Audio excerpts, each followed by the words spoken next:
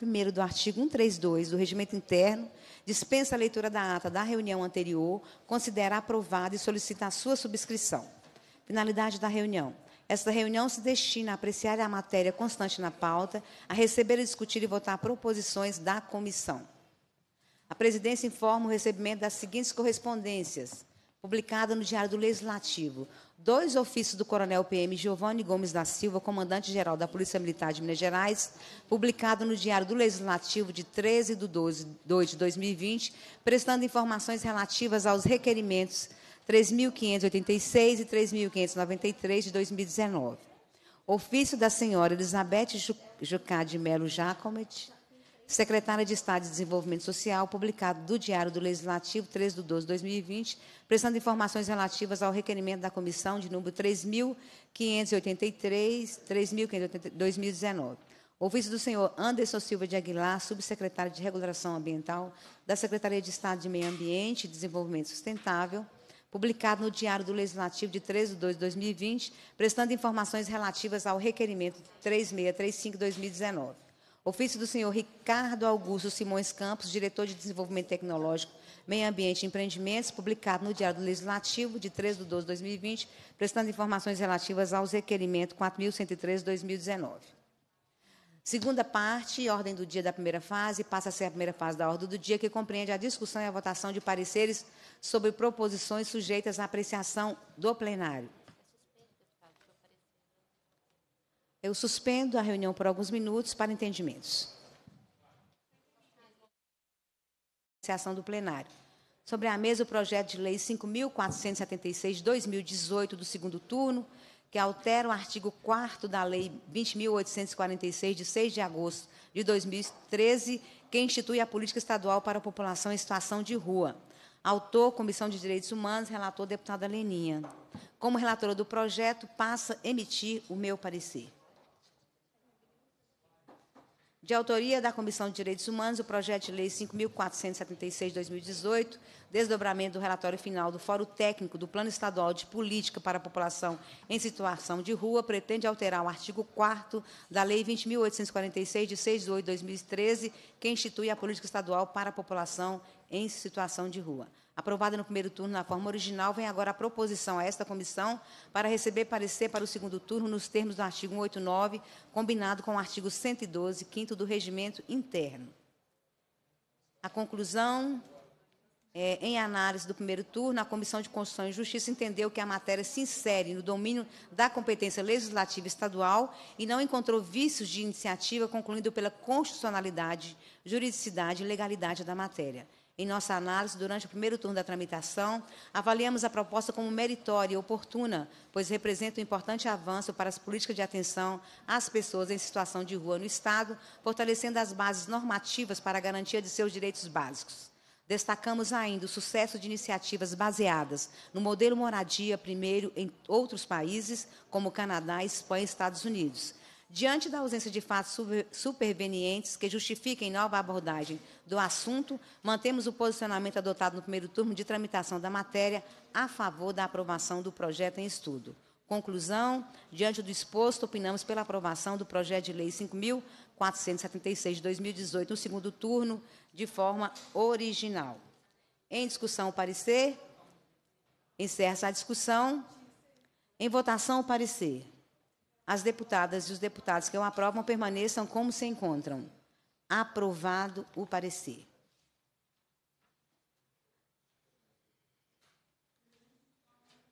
A presidência destina-se à terceira fase da segunda parte, ou à segunda fase da terceira parte da reunião.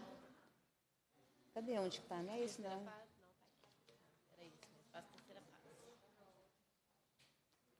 É, que compreende o recebimento, a discussão e a votação de proposição da comissão. Sobre a mesa, os requerimentos do deputado Cristiano Silveira. O deputado que subscreve requer que seja realizada audiência pública para debater o descumprimento pelo governo do Estado da Lei nº 23.137 de 2018, que determina indenização para os filhos separados dos pais e mães com rancianias em Minas Gerais.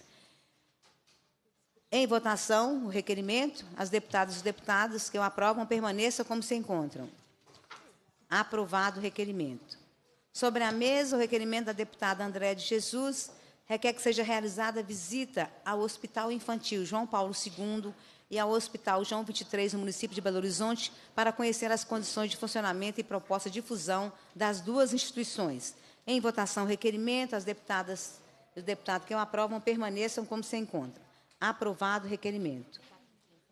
Passa a presidência para a deputada André de Jesus para fazer leitura dos requerimentos de nossa autoria. Excelentíssima senhora presidente da Comissão de Direitos Humanos, a deputada subscreve, deputada Leninha, requer que seja realizada audiência pública para debater a violação de direitos humanos e a liberdade de expressão. Em votação, requerimento, as deputadas que aprovam e os deputados que aprovam permaneçam como se encontra. Aprovado. Excelentíssima senhora presidente da Comissão de Direitos Humanos, o deputado subscreve, deputada Leninha, requer que seja realizada audiência pública para debater o crescimento da violência no campo em Minas Gerais.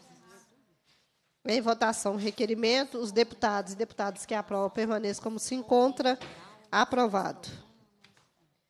Excelentíssima senhora presidente da Comissão de Direitos Humanos, deputada que subscreve, deputada Leninha, requer que seja realizada audiência pública para debater a violação de direitos humanos aos povos originários do Estado de Minas Gerais. Em votação, o requerimento, as deputadas e deputados que aprovam permaneçam como se encontra. Aprovado. Devolvo a presidência à deputada Leninha. Eu passo, então, a presidência para o deputado Betão para ler requerimentos da minha autoria e da deputada Andréa de Jesus.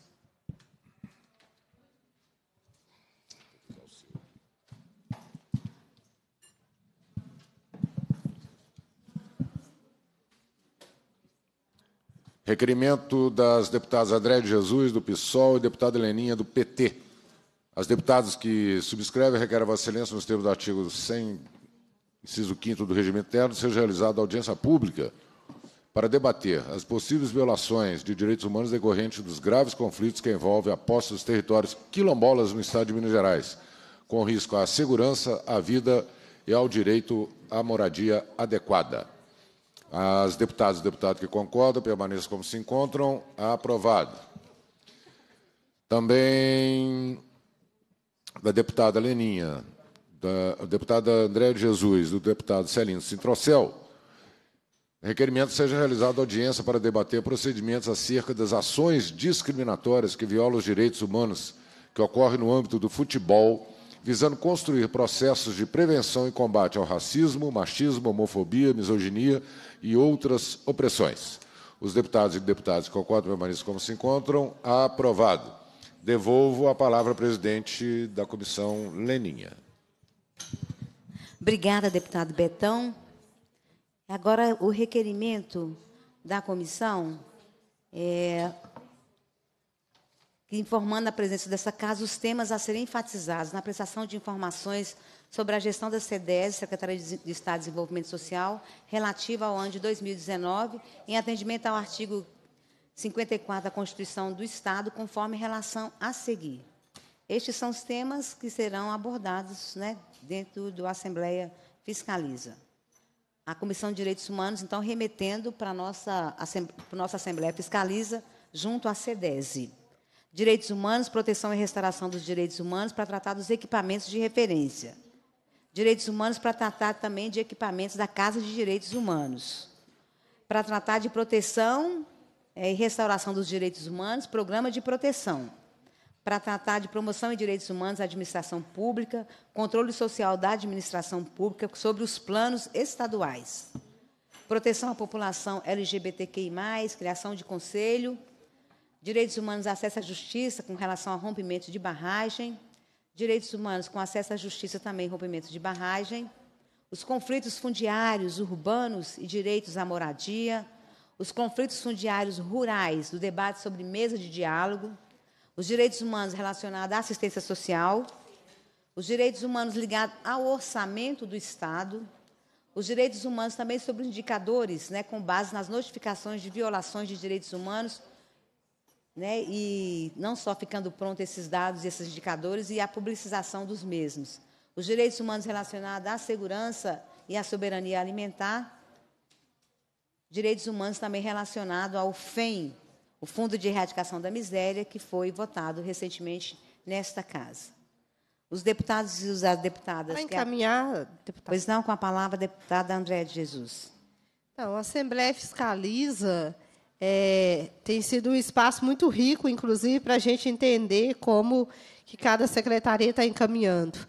É, eu só queria deixar registrado que esses são alguns dos temas que a gente vai tratar na Comissão de Direitos Humanos, mas tem diversos outros temas que a gente é, encaminha por meio da Comissão de Direitos Humanos para outras comissões, como a, a comissão, por exemplo, de, como a de, de segurança pública, temas que estão relacionados à dignidade da pessoa humana, os direitos humanos das pessoas custodiadas também serão encaminhados para a Secretaria de Segurança Pública e deverão ser respondidos pela Comissão de Segurança. É, a gente também deve fazer um esforço de encaminhar, a partir das denúncias que chegam dessa comissão, é, temas relacionados ao trabalho, aos servidores públicos. Ontem tivemos uma audiência aqui muito cheia para tratar, inclusive, das condições humanas que os servidores da saúde se encontram dentro dos hospitais públicos do Estado.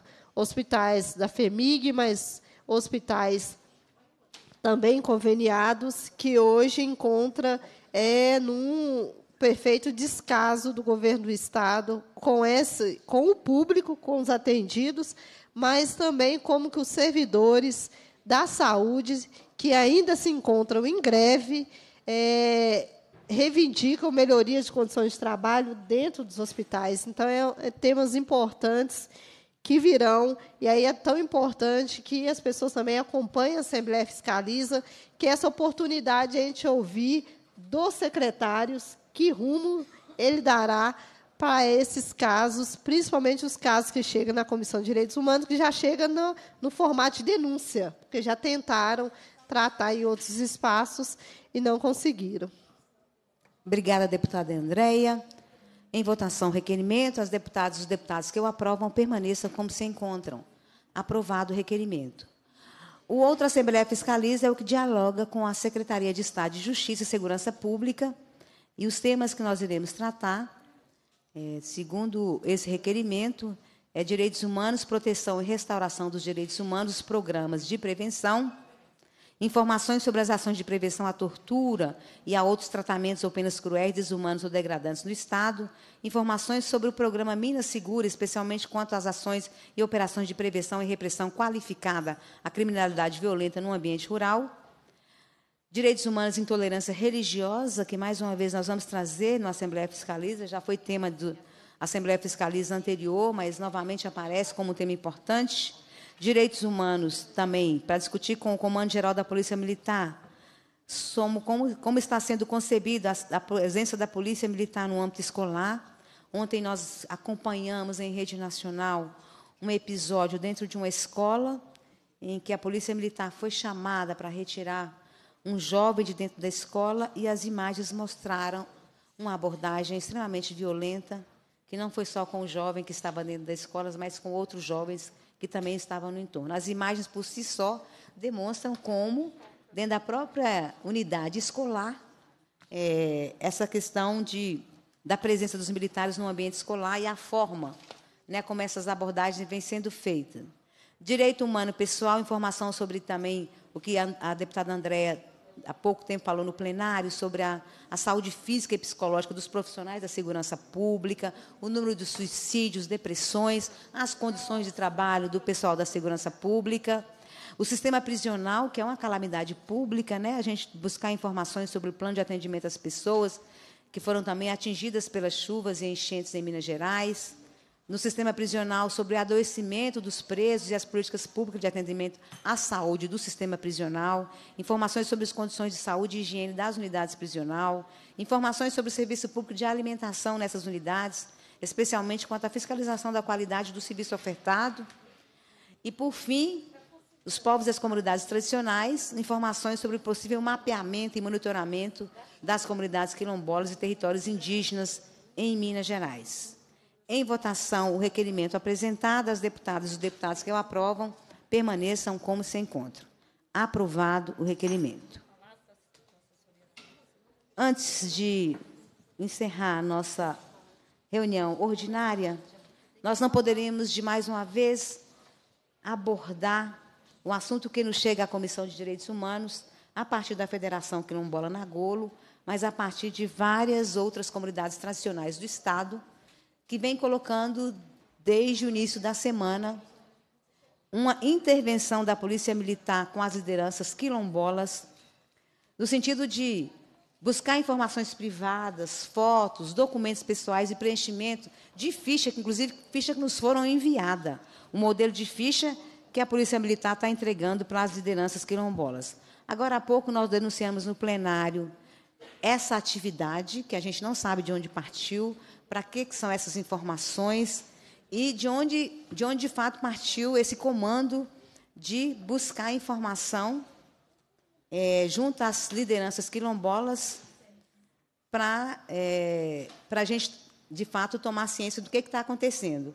E nós aprovamos pela Frente Parlamentar de Povos e Comunidades Tradicionais um pedido de esclarecimento por parte do governo do Estado em relação a essa atividade. E a gente está solicitando que isso seja, é, e seja paralisado esse tipo de ação, que para a gente é uma ação arbitrária, violadora de direito, direito humano. Nós citamos um caso de uma liderança quilombola que, ao sair de uma agência bancária, foi abordada pela polícia para pegar informações sobre a associação que ela preside. Quer dizer, isso é grave e essa comissão estará atenta. As deputadas e os deputados que compõem essa comissão têm recebido essas denúncias e nós, no primeiro momento, estamos pedindo esclarecimento e informações por parte do Estado, mas nós também estamos solicitando, por parte do governo, a suspensão deste procedimento para que a gente possa entender e que a gente possa construir juntos, se é um mapeamento para que o governo faça a regulação fundiária dos territórios tradicionais, se é um mapeamento para o governo atender famílias que estão em insegurança alimentar ou insegurança social, se é um mapeamento para, de fato, definir uma política pública para que o Estado cuide desse povo, isso aí nós queremos construir junto. Agora, é um mapeamento para identificar essas lideranças para possíveis retaliações e perseguição e aí nós vamos intervir fortemente, acionando outras forças no, no Brasil e no fora do Brasil, porque isso é uma arbitrariedade e nós não vamos é, permitir que tais atividades possam provocar tanta intimidação e tanto medo e anseio nas lideranças das organizações quilombolas desse Estado. Pergunto os deputados se querem fazer algum pronunciamento. Sim, deputado Betão. Deputado. É, rapidamente, nós também recebemos no nosso gabinete muitas reclamações né, a respeito dessa situação, no mínimo estranha, né, é, de fazer esse fichamento do, dos representantes responsáveis do movimento quilombola. Então, nós vamos estar atentos aqui nessa né, essa discussão. Acho que nós podemos estar elaborando aqui qual a melhor forma de abordar isso em relação à Polícia Militar. Com a palavra a deputada Andréia. Não, é só reforçar é, a, o encaminhamento que a presidente tomou de oficiar a polícia, entender, fazer um pedido de informação, entender os motivos que levam a essa abordagem nos territórios tradicionais, mas, é, no mínimo, é, a gente precisa ouvir também do secretário de Justiça e de Segurança porquê dessa medida, de onde partiu essa ordem e qual é o interesse é, da Secretaria de Justiça com o mapeamento das comunidades tradicionais que tem setor próprio de acompanhamento. Né? Nós estamos falando é, é, de comunidades tradicionais que precisam ser protegidas pela União, em parceria com o Estado. Então, é, é, não é só estranho, mas é um indício de algo ilegal essa atuação é, sem explicação da Polícia Militar. Agora, a gente também havia dito em plenário, né, presidenta, que a Polícia Militar tem agido, né, é, é, inclusive impedindo o Carnaval de Belo Horizonte.